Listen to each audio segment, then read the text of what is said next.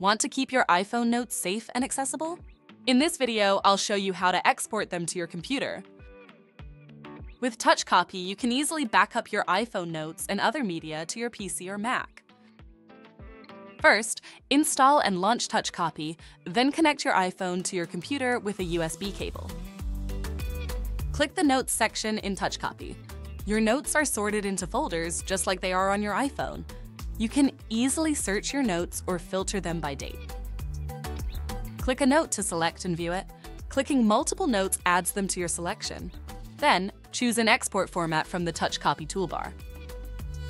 You can export notes as PDF for easy viewing and sharing, save them as HTML, or even as plain text.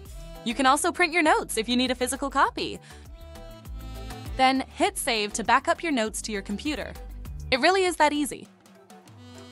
Download TouchCopy free today. Visit touchcopy.com.